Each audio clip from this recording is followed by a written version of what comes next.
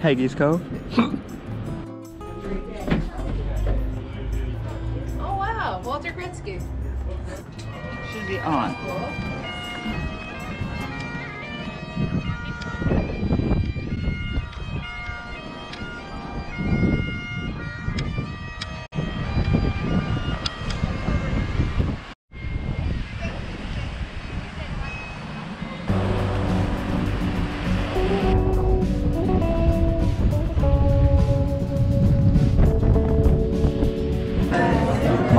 Uncle suggested we get the gingerbread at the Sou'Wester Peg at Peggy's Cove, having the gingerbread with my lovely wife. Crystal Crescent Beach.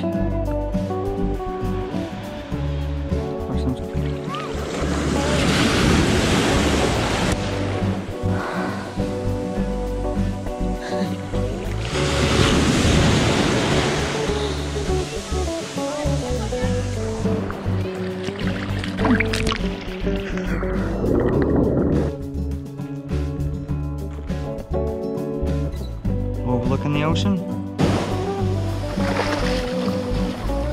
Today on the Pray for Nathan show, we're in a kayak in the ocean. Ah!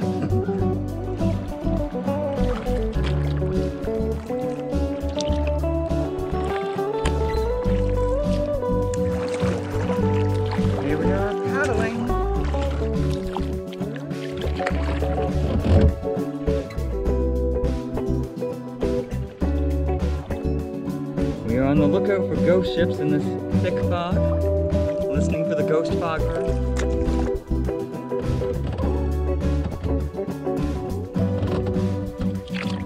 We found a ghost ship. Leaving the sheltered deep cove and entering Mahone Bay. The original deep cove.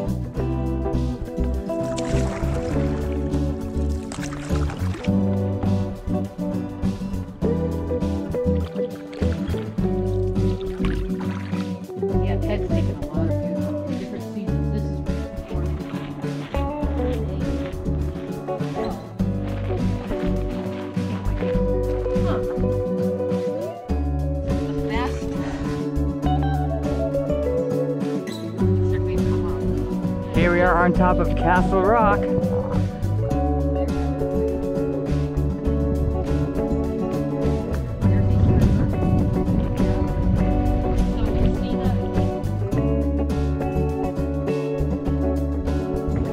And here we are at the Shore Club for a lobster dinner. Princess Diane and Prince Charles dined here in 1983.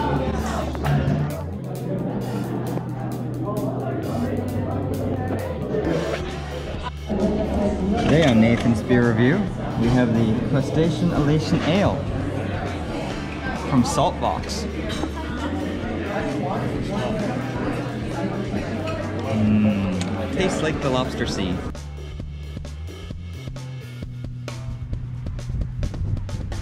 Starting out the day today in Fisherman's Cove. See these nice quaint little fishing shacks, I guess. See what we can check out.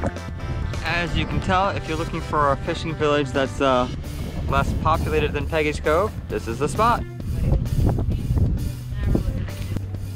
Unicorn gifts there. We're here for Pirate Fest apparently.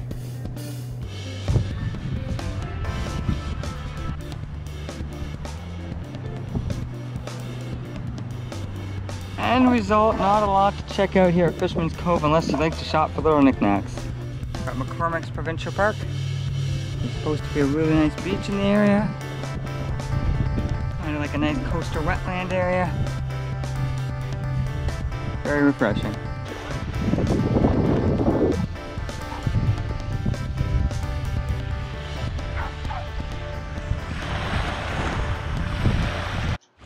Just starting out at Shubie Park in Dartmouth. Shubie Park is named after the Shubenacadie Canal that used to pass through the park, which has since been abandoned.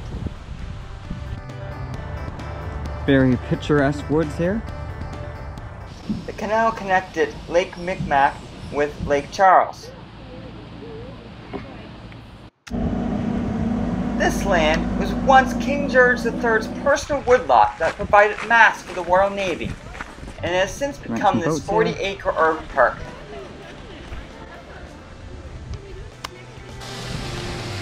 Here's one of the locks.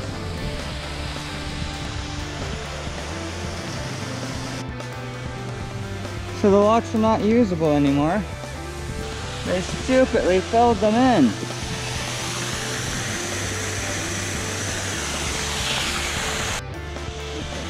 Lock two.